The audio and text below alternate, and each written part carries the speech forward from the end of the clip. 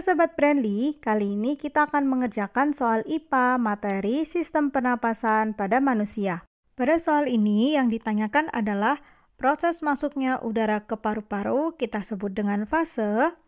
Nah teman-teman, di sini kita diberi 10 pilihan jawaban yaitu dari huruf A sampai dengan huruf J. Untuk dapat menjawab soal ini, mari kita bahas tentang proses atau siklus pada pernapasan manusia.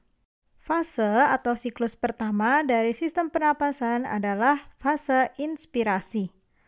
Fase inspirasi merupakan proses masuknya udara ke paru-paru karena tekanan udara di dalam paru-paru lebih kecil dari tekanan udara di luar paru-paru.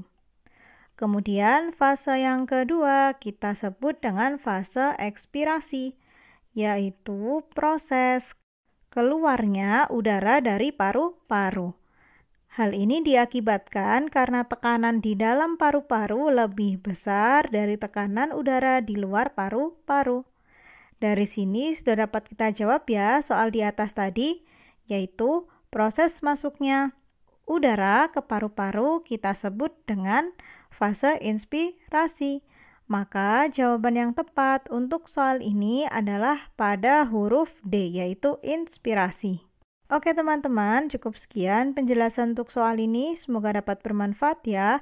Selalu semangat dalam belajar dan berkarya. Salam pendidikan.